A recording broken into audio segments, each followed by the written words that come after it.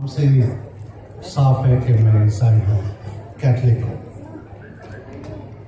مگر شاید میں ہندوستان کا پہلا پترکار جرنلسٹ تھا، جو عراق، شام لیبنان پیلسٹین کی لڑائی میں وار کورسپونڈنٹ بن کے اسی کے زمانے میں گیا۔ اس جنگ کی جو وہاں پر ہو رہا ہے، اس کی شروعات میں نے اپنے آنکھوں دیکھی ہے۔ میری قلم سے میں نے اس کے بارے میں لکھا ہے۔ کیونکہ میں پہلا ہندوستانی تھا، میرا نظریہ، میرا نقطۂ نظریہ ہے۔ کوئی امریکی پترکار، کوئی یورپین، انگلستانی صحافی والا نہیں تھا۔ اس کو میں اندر سے جانتا ہوں۔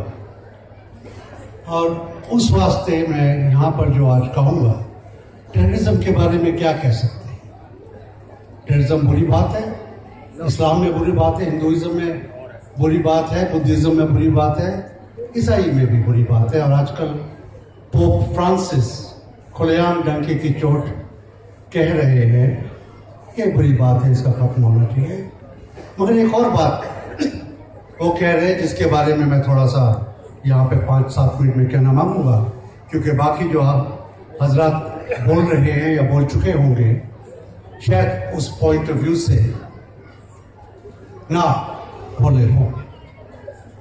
اور وہ یہ ہے کہ کہاں پر کیا ہوتا ہے اور اس کا اثر ہندوستان میں کیا ہوتا ہے۔ اس کا اثر پولیس پہ سرکار پہ ہی نہیں۔ گاؤں میں غریب پر۔ اسکول، کالج، یونیورسٹیز میں لڑکوں لڑکیوں کے اوپر کیا ہوتا ہے؟ برا؟ اچھا یا بہت برا؟ یہاں آنے سے پہلے ایک گھنٹہ پہلے میں جنتر منتر میں تھا۔ وہاں پر بھی ایک محفل تھی۔ اتنی بڑی تو نہیں تھی، مگر تھی۔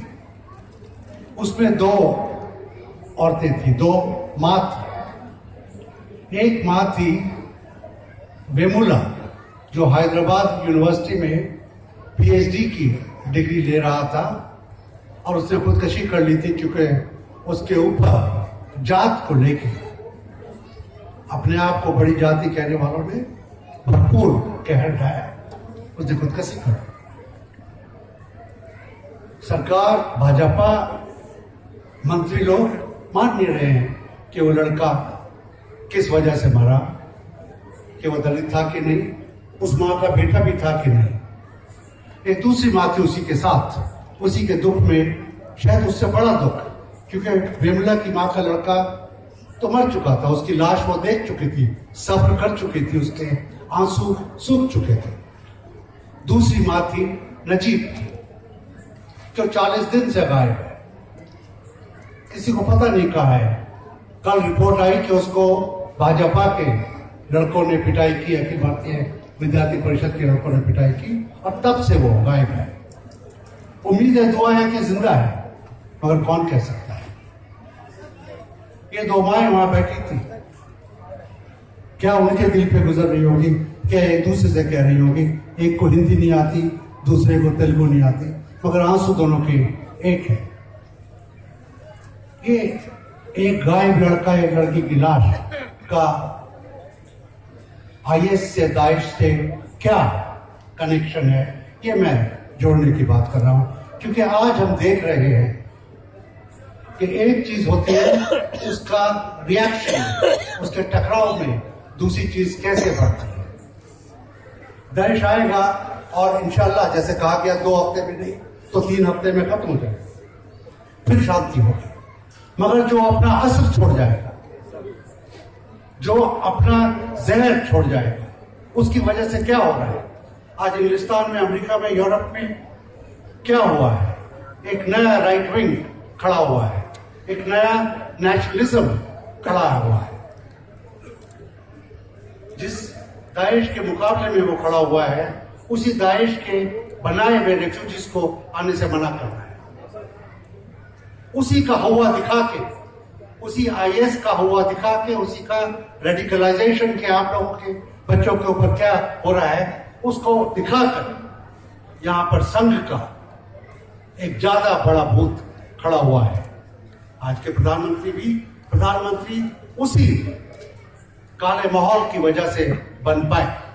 اسی وجہ سے آج جے این یو میں، کشمیر میں کیرلا میں، مدھیہ پردیش میں اور جگہ اسی کی وجہ سے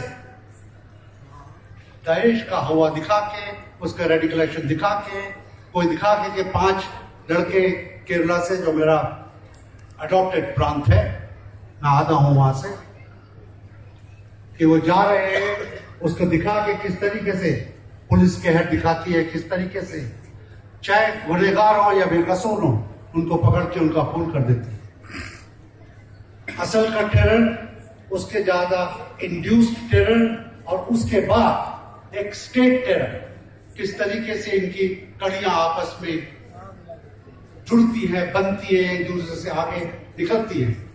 اس کے بارے میں ہم کو سوچنا ہے، اس کے بارے میں بھی کھڑا ہونا ہے۔